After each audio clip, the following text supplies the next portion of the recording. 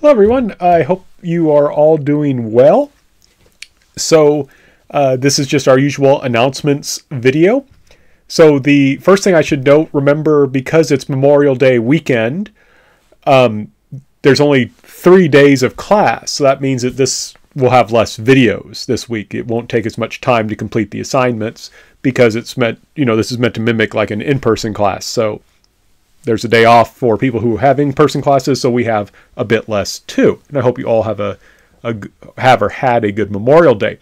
In addition, since it's uh, Memorial Day weekend, I'm delaying the password due date. So instead of being due at Tuesday 11:59 p.m., it's due at Wednesday 11:59 p.m. Because you know if you're out traveling, you may not get this email till like Monday night or something, or even Tuesday.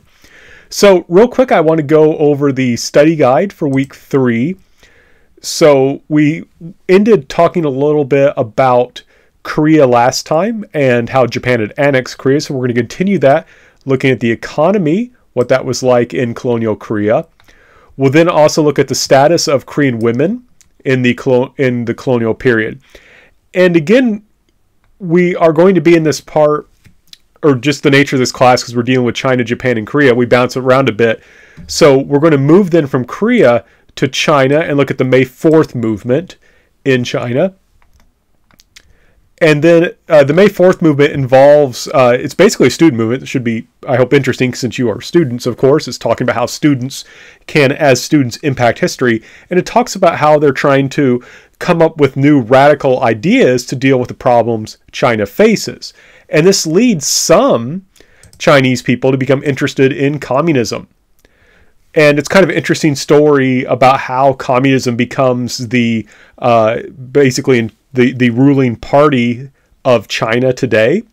And that's a story our class is going to tell. And in a sense, this is where it's going to start. So we'll talk a little bit about communism in China. We'll also need to talk a little bit about, though, what communism is, or at least the theoretical ideas behind communism. Uh, China today isn't that communist, even though it's ruled by a communist party. We will then also look at how the opponents of the communists, the nationalists, the people who were actually in charge of China in the late 1920s and 30s, how they were trying to develop China and make it into a strong state. And we'll also look over the str- struggle over Manchuria. Now, you may remember we talked about Manchuria earlier. That's where the Manchu came from, the people who made who established the Qing dynasty.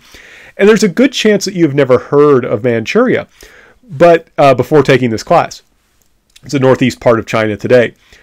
But what I think is fascinating is that a lot of what led to World War II is going to happen um, in Manchuria. A lot of the events that eventually give rise to World War II occur in Manchuria, and we're going to start seeing some of those issues here. And basically, it's a struggle over Manchuria that leads to war between Japan and China, and it's the American policy uh, towards China and Japan because of that war that eventually leads Japan to attack us at Pearl Harbor. So that's why this, what's going on here is really important. We then will look at what this war between Japan and China was like for Koreans. They're part of the Japanese Empire. We'll also look at this video called Identity in the Japanese Empire. And this is one that was, I think, very difficult for me to make because it's kind of out of my area that I specialize in. I'm mostly interested in things like politics and economics and uh, religion and so forth. And this is looking a lot at ideas of gender and sexuality. So areas that um, I'm not as good at, if that makes sense. But I enjoyed making it and researching it because it's areas I don't know a lot about. So do bear with me as you look at this. I hope it does make sense. But basically, the idea is that in the while we think of Japan as a homogenous nation, right? Who lives in Japan? Well, most people are Japanese. The Japanese empire was not homogenous. There were lots of different types of people, right? There were Koreans, Taiwanese, um, Manchurians, and we'll even talk about how Mongols, or I'm sorry, not Mongols, we'll talk about how Manchus will also be in interaction with the Japanese Empire. And we'll look at how these kind of ethnic and gender identities all kind of mix together and make for some very interesting history within this heterogeneous, not homogenous empire. So, and for the last video, um, is last it lasts about an hour and a half, but it's this documentary called Japan's War in Color. And it's on YouTube, but there's a link as usual. And it's just really, really well done. It has some great narration. They, they do a good job of, of bringing in historical sources. Uh, they, they have lots of quotes from Japanese people living in this time period, other people as well. But I like assigning this documentary for this class because it's looking at a Japanese perspective primarily. Um, it's so you're probably used to hearing about World War II from an American perspective, which makes sense uh, if you're an American, right? But here it really does try and tell from the Japanese perspective. Now, one thing I want to note because this is a long, like I said, this documentary I think is about, remember right, about 90 minutes or so, so it's fairly long. And so what I did was they'll often like they'll they'll uh, when they switch scenes at the bottom of the screen it may say Yokohama or it may say Peking or something like that. And so what I did was when I had a question, I usually tried to give you like a timestamp and I would try and give you a clue. So, you know, you, you should be able to answer these two questions in the first six and a half minutes. Between the six minute, 30 second mark and between the 11 minute mark, you should be able to answer this question, right? Uh, between 11 and 14, you should be able to answer this question. And usually I try to give the people's names that, you know, here, what did Toru Yoshida tell her daughter not to do? Why? But in other places, let me find an example. Yeah, how did the Japanese soldier view the Battle of Peleliu? It's not quite clear what the Japanese soldier's name is. They say it really quickly. And I said, well, they've got the timestamp, you know, between 45, 7, and 50. That's close enough, right? That's close enough. So that should help you be able to keep track of this. And it tells the story of how they got to World War II and how World War II ended and even the beginnings of the occupation of Japan. So I think it's a really well done documentary, which is why I wanted to assign it.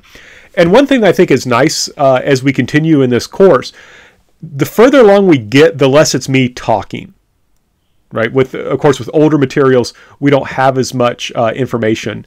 Uh, you know, there's no videos from the 19th century. Right. There's no one alive from the 19th century who we could interview today. But these documentaries like this allow us to kind of immerse ourselves in this history. And I, I think that's very valuable. So I hope you will find those uh, interesting. The writing assignment is fairly simple. It's two readings from Shigeru Mizuki. So in week two, you read about what his life was like as a kid. Now you can see what his life was like as a soldier. And it's kind of interesting because uh, Shigeru Mizuki was not a particularly good soldier. He was good at surviving, uh, but as and he presents himself, I think, quite honestly, he wasn't a particularly good soldier. But it basically is just asking you to ask some questions about those two um, readings, and then just says, How would you describe life in the Japanese army? Now, the last thing I need to talk about, and I know this may seem kind of odd because we're, we're just moving into week three, but remember, this is a class that ends in the sixth week, and you only have like two days of class in week six. So I need to say a little bit about the final. So the final exam, of course, is in week six, and it's cumulative, but I tell you what the cumulative part is, right? So if you go to the, let's go back just to make it clear. Oops, I'm sorry, I'm not on the right. Here we go. Got to make sure I'm on the right screen. So if you go into the content, right, you can see the different weeks. If you go to week six, right, you're going to see, you know, the stuff from there. Um, this is stuff that's hidden from you as a student. I can see it. You'll see two documents. One, it says final exam names and terms, and this says final exam names and terms in alphabetical order.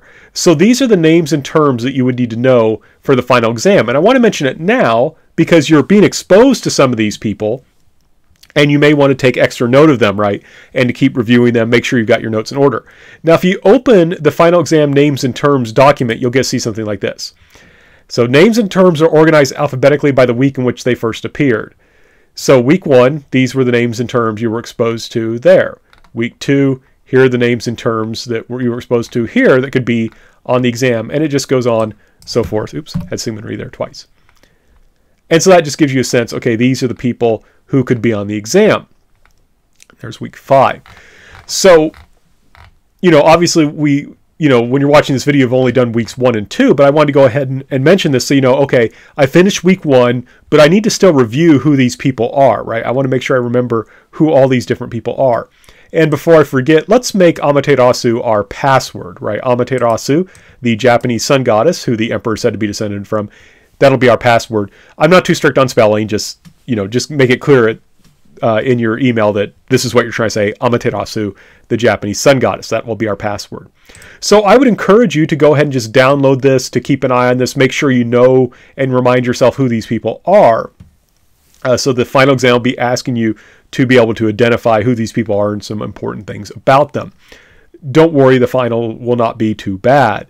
Um, especially if you're able to prepare this way. Now, the other document that I have up there, it says final exams, names and terms in alphabetical order. I also gave you the exact same list, but it's in alphabetical order.